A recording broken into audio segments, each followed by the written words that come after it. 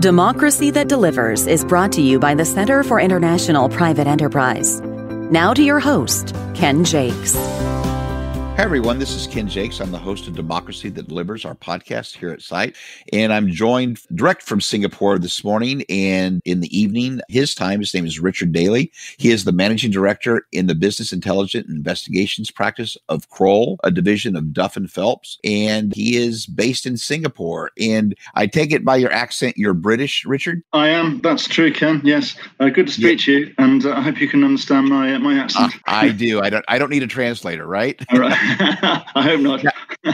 How long have you been in Singapore? Okay, so I, I came to Singapore about eight years ago, eight or nine years ago. And before that, I had been with Kroll in Mumbai. In fact, I set up Kroll's office in Mumbai. So I oh, transferred directly from there to Singapore in about 2012. Oh, okay. And yeah. uh, and you're managing director for business intelligence and investigations. So tell me what that's that right. Yeah. So fundamentally, we, we provide clients with fairly high level intelligence, business intelligence to help them make decisions. Now, normally that fits into three broad brackets, which might be intelligence ahead of, a, of an investment or a major a major transaction, which you you know you could you could see that as part of the due diligence process. It could be intelligence as part of um, a dispute, uh, usually an international dispute, where we might work with a with a major law firm, or also we provide uh, information and uh, additional intelligence in support of internal investigations. So it's the same kinds of skill set. It's a fairly sophisticated and advanced research methodology online, and then obviously the I guess the core really is providing is adding to that with primary sources on the ground, and that provides clients with um, you know a good all-round understanding of the issues, which is uh, beyond what you're able to Google. that's uh, I guess that's the point really. So it's you know it's, and, and obviously we we have um, our own kind of quality control to make sure that what we're doing is uh, accurate and helpful to the clients. So pretty high end, bespoke, and tailored very much towards the business problems which our clients have. Okay, what we want to talk about in this next half hour or so is sure. supply chains, which is at the top of the news uh, once yep. again with with COVID. It's become a very very big factor in, yep. in the whole mess that we see around the world. Yep. But before we get started and and, and before we kind of segue into the COVID crisis, let's talk a little bit about supply chains in what some would call even a crisis in supply chain and supply chain management around the world because there's been criticism that there's very few suppliers coming from a handful of sources and it needs to be diversified. And in fact, we talked to one of your colleagues recently who is on our board, Nicole, yep. and, and we talked about that on, on a global sphere. But I wanted to talk to you about, you know, how the supply chains, especially now and with COVID, has affected the APAC region. But again, before we get into that, I want to get your views on supply chains and, and some of the difficulties that the world had leading up to the COVID crisis. Sure. I think one of the major issues, which I don't think is widely realized, most corporates don't really understand their own supply chains beneath about the second or third. And what I mean by that is, is that most corporates are going to be relying on one or two major suppliers, often in foreign countries. That might be an American corporate with suppliers in somewhere in the in the Asian region. But who they subcontract to, they might well know. They might well know. But who those subcontractors subcontract to, that's when things start to get very murky. And I've certainly been on calls with major corporates, even not necessarily Western corporates, but other major global corporates who've told me they've had supply chains which they know are 12 deep. So these are suppliers subcontracting to suppliers, subcontracting to suppliers,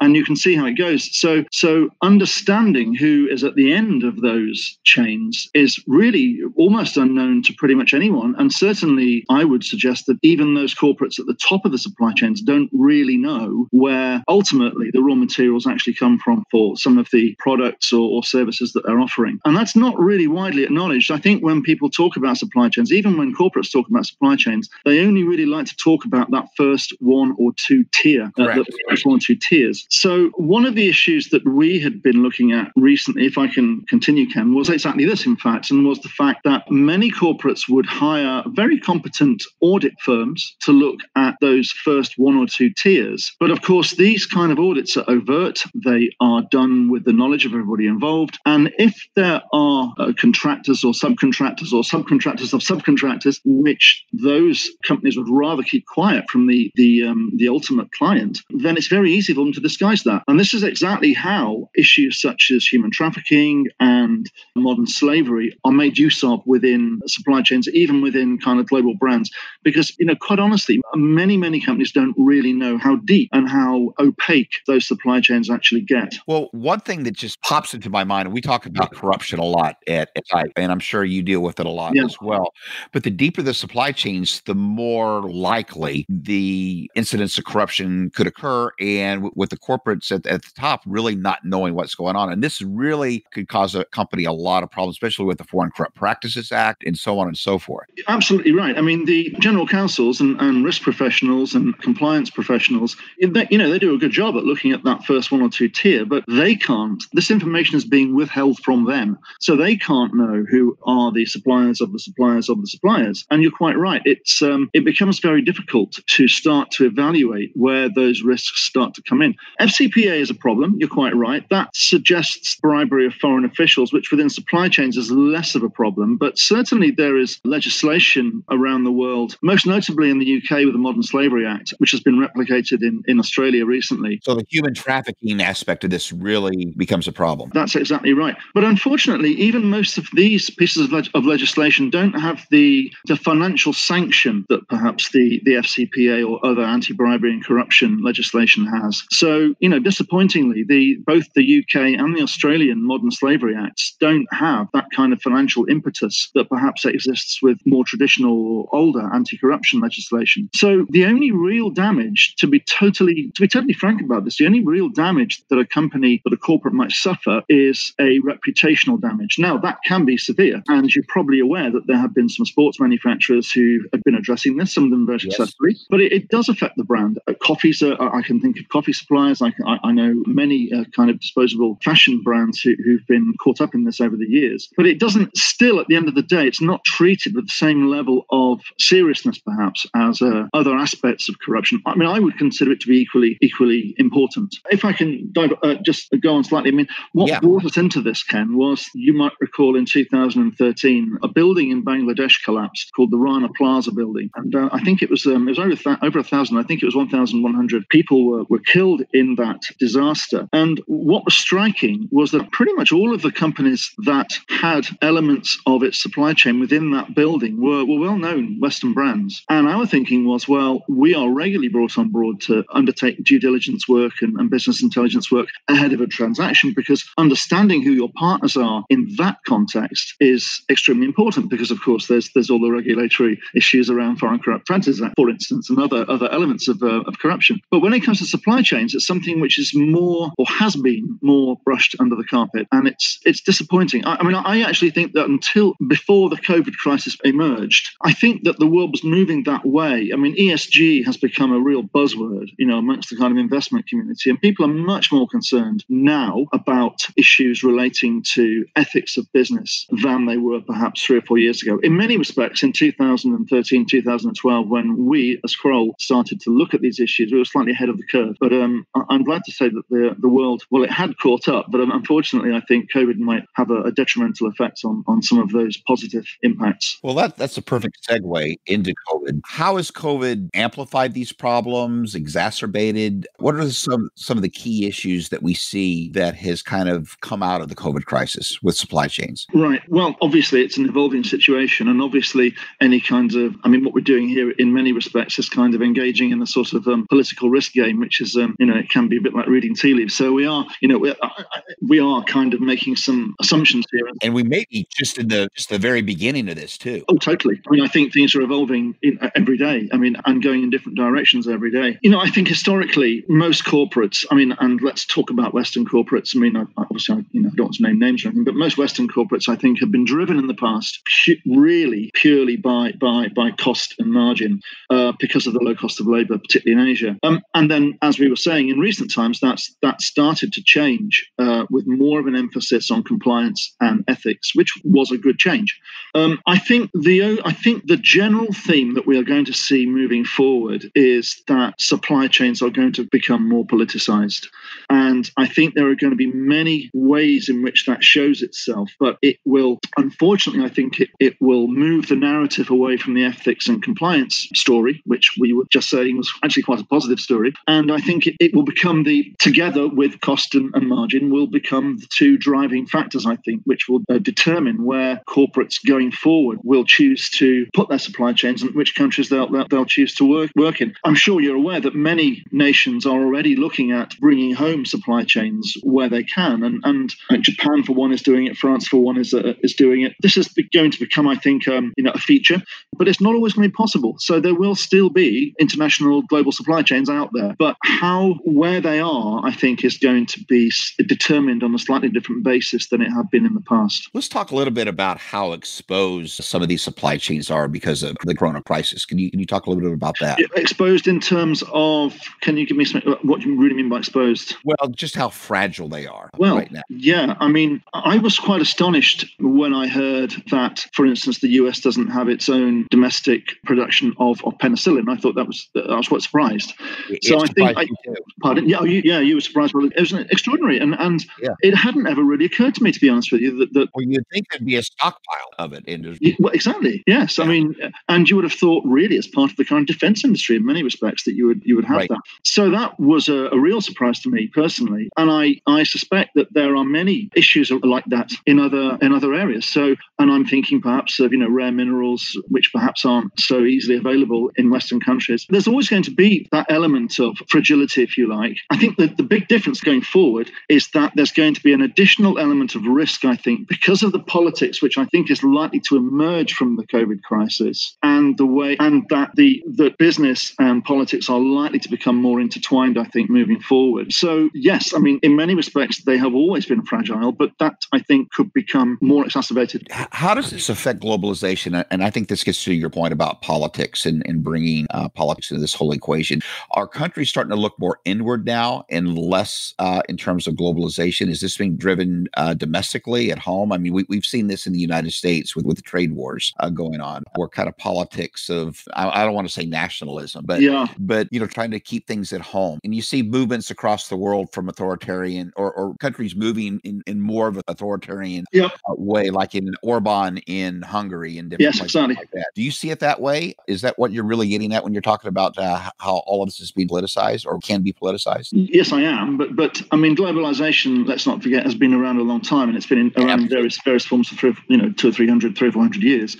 We have been, I think, in the you know late twentieth century at the kind of the very top of of of we got as far as we could go, I think, in terms of globalization, and in many respects, it went too far. Can you talk more about that? That's very interesting. That you think this we, we've kind of gone as far as we go with it. Well, I mean, I think that the natural corollary of how far we had gone was a backlash, and that was already happening. I mean, I think that was already happening. I think we saw that with various uh, elections in the West, in the US, the Brexit debate in the UK. You mentioned Orban in Hungary. We've seen the same thing in France, um, across the world. I mean, even in Asia. I mean, I, I do a lot of work in Thailand, and and you know that has become much more protectionist than it has been in the past. And I think that that move towards, if you like, a different kind of sovereignty, of pulling back sovereignty from a world which had been perceived, particularly by the by let's say the working class, you know, blue collar workers, it had gone too far. Are kind of pulling back from that. I mean, um, you know, I, am very conscious sometimes that you know uh, I'm sort of perceived as the international global elite. I, I suspect, and, and, and any of us who, who move around countries, you know, on, on a weekly basis, and I suspect you know, we are seen as that in many respects. But and I think there's definitely pulling back from that, and that's been very obvious, I think, in the elections in the West over the last three or four years. I think the COVID crisis is going to exacerbate that, and I think that there'll be a rather than a, a pull back towards protectionism and sovereignty, perhaps we'll see more of a fracturing along more cultural and perhaps language lines. So perhaps we'll see. There's been a lot of talk over the years about what they call the Anglosphere. So this has been, you know, the primarily sort of British colonial nations and other nations that, that were English speaking about being, you know, going back to that, which had, you know, really been part of the um, Commonwealth, if you like. And I think we might see the same kind of division with Confucian nations and, and other other nations who feel a sense of uh, comfort, if you like, in dealing with with people who they perceive to be friendly. I think there are going to be different criteria and very loose and sub- and subjective criteria about how you deem who is friendly. But I think that could be a way in which the world fractures moving forward. So not necessarily down the straight, you know, nationalistic sovereignty lines that perhaps we were seeing until COVID, but more down the lines of, you know, I can trust these guys because they were, in the case of the UK, for instance, they were former colonies of the UK or France or, or any other former colonial nation. Or in the case of the States, well, you know, we've had a lot of um, a great relationship with the Philippines historically. So, you know, we're quite happy having our uh, supply chains based in the Philippines, but, you know, perhaps less so Vietnam because, you know, there's some history there, despite the fact that, in fact, these countries have changed. So I think we might see some fracturing along those lines going into the into the into the future. I think an interesting outlier here is going to be the the um, tension between India and China. I was going to I was going to ask you about that. India has a lot. I mean, I, I've worked in India, I know it very well. India has a lot in common with, with the West, and you know, English is very widely spoken. Not as widely spoken as some people think, but it's it's very widely spoken. Right. It's the language of business, and you could certainly see a scenario where India benefits from a fracturing, perhaps, of the relationship with China and, and other Confucian-leaning nations, uh, for want of a. Is that because of uh, low labor costs? Is that because of low labor costs? Well, low labor costs has been, been part of it. Yeah, one of the reasons why countries might want to, you know, position their supply chains in India. But I can certainly see India being a beneficiary. The problem in India has always been that doing business there is so difficult because of the bureaucracy, red tape, and because of that, it, it does have a specific, very real problem with corruption, uh, and you know, and that's known. so that does put off a lot of corporates from from investing in India or positioning their supply chains there. But I think if India can, can address this problem, and if it's a big if, then I think it has a, a great opportunity to to really be a, become that that next powerhouse. But you know, going back to the original point, I think yes, the globalization is definitely changing, but it's it's always changed and evolved over the, la- the last three or four hundred years. I think we're going to see more of a, a division of countries along along the lines of who they feel comfortable dealing with, along languages and, and other cultural aspects that are perhaps quite soft and quite you know quite difficult to define. And it's going to be a question, I think, of where people feel the risk is less and where they feel they understand the politics of a country. That's going to become very important, I think, moving forward. So, when the uh, COVID crisis started, obviously it started in China and they shut down, which affected the supply chains to the rest of the world, especially here in the States. What do you see as a response to that by companies and, and governments, just not the US government, but other governments? Do, do you see companies starting to look inward and, and looking at uh, domestic supply chains rather than looking abroad? How do you see this evolving? Yeah, I mean, where they can, I think in certain sectors, there is going to be a drive towards, you know, localizing supply chains. Agriculture might be one particular example where that might work quite well. And don't forget, of course, this is also going to be, there's going to be a motivation here. There's going to be a driver here because, of course, many Western countries, all Western countries, are going to be hit by the economic effects of, of, of COVID. So not only are we looking at reevaluating supply chains, but there's going to be um, an economic benefit in creating jobs at home as well, and, and, a political benefit in creating jobs at home as well. So there's, there's, there's many elements, I think, to this. So yes, I think where it's possible to position supply chains at home, and in particular the Japanese and, and French are looking at this, and uh, obviously uh, I know they are in the States as well, that's going to happen. But there are certain industries that's just not possible. So, you know, where, where uh, significant human low cost labor is required, then there is still going to be a requirement for countries to position supply chains offshore. But whether they'll want to be in China or whether they'll want to be in a country which is now going to be deemed as a high risk country is the question. And how you define those risks, I think, is going to become the interesting question. And I think there's going to be lots of elements which feed into how corporates and and their governments perceive those risks and how they're defined. So yes, they will localize where they can, but it's not always going to be possible. It's it's just not. And of course, the consumer is going to have less money. So you know, corporates are going to have um, a lot of pressure on them to keep to keep prices down, and that can only really be done by having you know by having the supply chains and cost of labor issues overseas. That's still going to be a major you know a major factor in this. Well, Richard, as a and I was just looking over the notes that you sent me, which were fantastic, by the way, and this this is really kind of a perfect segue into what you were talking about. But can you elaborate on how corporations might in the future view a country as being friendly versus unfriendly? and evolving and evolving exactly. um, uh, um, uh, uh, thinking of my own, if you well, like. It, it's being accelerated, I think. Oh, totally. Yes, totally. I mean, to give you some examples in Asia, because this is a part of the world I know well, I've been looking very much at the development of Myanmar um, and it's you know has been very exciting. It's been a bit lumpy in terms of the way things have moved forward, but nonetheless, until COVID, I think there was a good chance that Myanmar was going to become you know one of the the next nations in this region to benefit uh, from globalization. But I wonder if that's the case now. Myanmar is still so opaque and the infrastructure is, is, is poor that I wonder if a company which was considering putting some of its workforce into Myanmar is just going to go, you know, it's just not worth it. I think let's go to India instead because, you know, it's got some problems here, it's got some problems there, it's more expensive. But at the end of the day, it's going to be easier to navigate away around, around India than Myanmar. So I think that there will be winners and there will be losers here. As I mentioned earlier on, I suspect language is going to be part of it. I suspect some kind of sense of shared history, be that real or not, is going to be part of it. So, you know, the Philippines could still benefit from its historic relationship with the US. I think India, Malaysia will benefit from their historic relationship with the UK. Vietnam, Cambodia will, will benefit from their historic relationship with France. I suspect they will become drivers more than, because I think people will feel more at home in those countries. Who do you think the winners and losers will be uh, out of this? If you if you were to put a crystal look at a crystal ball, say five years down the road, is, is it the Chinese or are they so heavily integrated now in the global economy that that's going to be kind of hard for them to kind of suffer from this? I mean, I think in many respects things are just going to rebalance.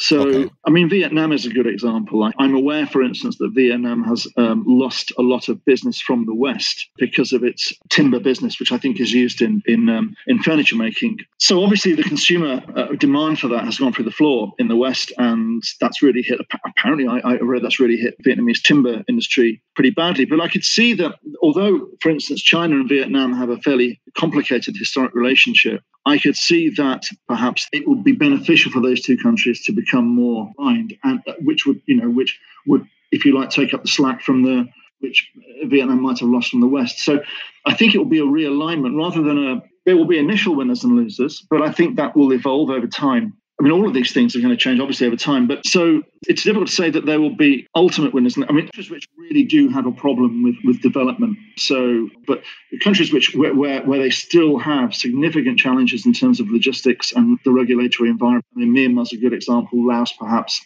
Papua New Guinea. You know, these are a long way behind the rest of Asia chance there was a real opportunity i think before covid that these countries could have caught up very quickly. But i think i think this is going to delay things quite significantly. I mean why would you choose on putting your supply chain in myanmar or laos when you know you could go to malaysia or thailand where there is the rule of law and you know where there are established international banks operating quite quite happily and it, and the international law firms are all there. It just seems to me unlikely that you would take a gamble on a country which is less developed which is tragic in many respects for those countries development but i think it will put them back. Has there been any governments or in this we're running out of time we got about a minute or so uh, any government or industry sectors or even companies that have reacted really, really well to the crisis and, and kind of pivoted in a very positive way that you can think of? It depends what you mean by a positive way. I mean, I heard announcements immediately from the US when am going back to the there is no penicillin in the US discussion right.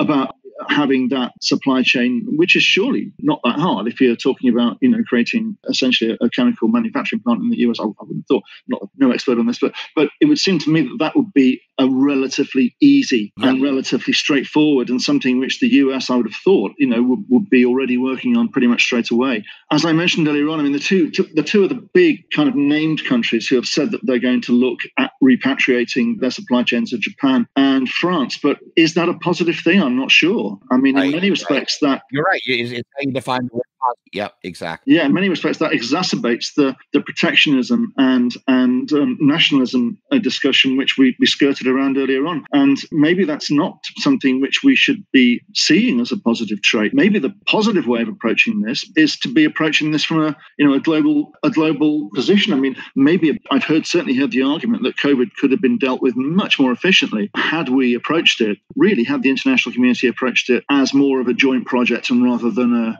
an individual state-run right. as individual state-run projects. So you know the Chinese having their uh, response, the US having their response, individual European nations having their response. I think that in itself has demonstrated that the the downsides of challenges to globalization, and I would rather hope that that we don't see the kind of knee jerk responses in supply chains that we're suggesting. I just think that we will. I think it's just um, a reality of the situation. So um, more of a reaction than yeah, else. I think it is. And it'd be nice to think, as part of the liberal elite, I think it would be nice to think that globalization would kind of pick up where it left off and, and it's still going to benefit humanity. I'm not convinced that's the case. That's the problem. And I'm not convinced that retreating, you know, into a bunker or trying to localize everything is the way forward. That said, of course, there are many benefits in doing it. There is obviously the counter argument that it had gone too far and that, you know, for instance, things like carbon footprint have got out of control with overly complex supply chains. So so it's a balance. Maybe it's time to redress that balance. But any nation which has responded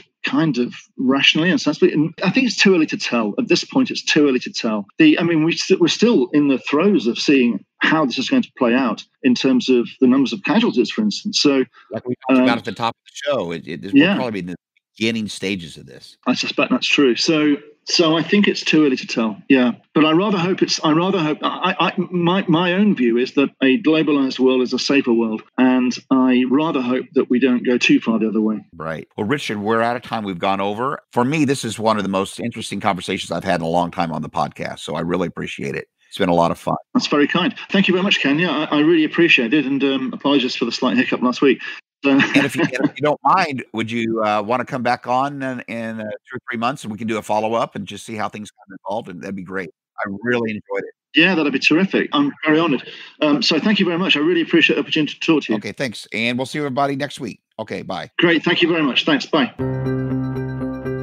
Democracy That Delivers is brought to you by the Center for International Private Enterprise.